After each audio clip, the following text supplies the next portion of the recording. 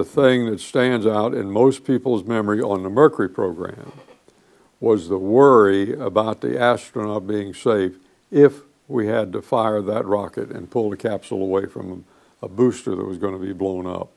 While I was working for NASA and assigned to an office at Patrick Air Force Base, not at the Cape, my wife found a house in, in Indian Harbor Beach. I discovered that my neighbor was Colonel Harry uh, uh, Cannon, nice guy, very nice guy.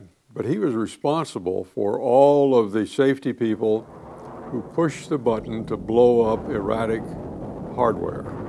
And we had a very heated discussion. And Harry said something about, you know, they might have to blow up the Mercury capsule. And I said, You'd never do that with a man in it. And they said, Yes. He said, Yes, we would.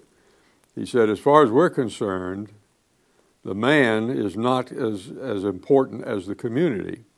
And he said, Our duty, our Air Force duty, is to protect the, the community.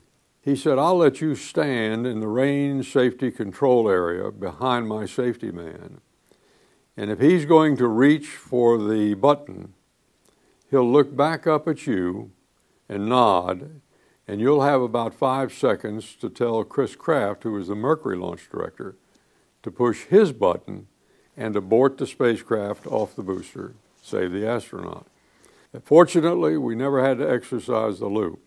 That was, in my opinion, one of the most startling things that I worked with, which ended up in me being a very big participant in the launch of the uh, first Mercury Redstone uh, with Al Shepard on it. I'm Tom Curry, and what I've just shared with you is one of the untold stories from the Rocket Ranch.